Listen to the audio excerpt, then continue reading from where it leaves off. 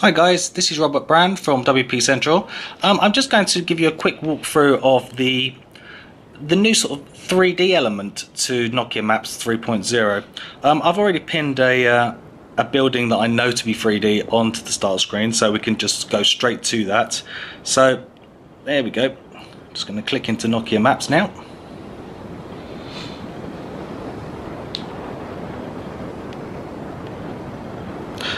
Okay, I mean the pin itself is a, a place called Centre Point, right in the centre of London. There, it's a an old 60s uh, tower block. It's quite a famous landmark. Um, as you can see, with the Nokia maps, you've got quite a bit of information in there anyway. Uh, some of it's coming from Lonely Planet.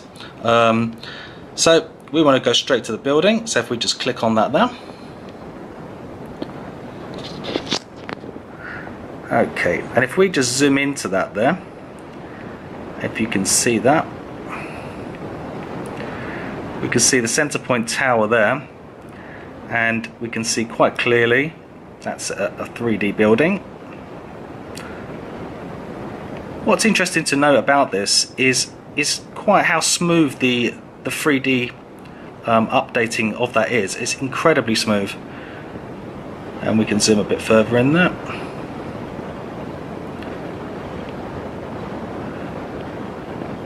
the reason that's interesting, I mean, obviously for you know just traditional straight up mapping, uh, 3D isn't too much of a concern, but it'll be very interesting to see how well that 3D is going to be leveraged with uh, another very common uh, mapping application, which is Drive. Um, so here's another building here, quite sort of easily see that's 3D, and as you can see as we sort of scroll across there, which you get some sense of the actual look of the building from different sides.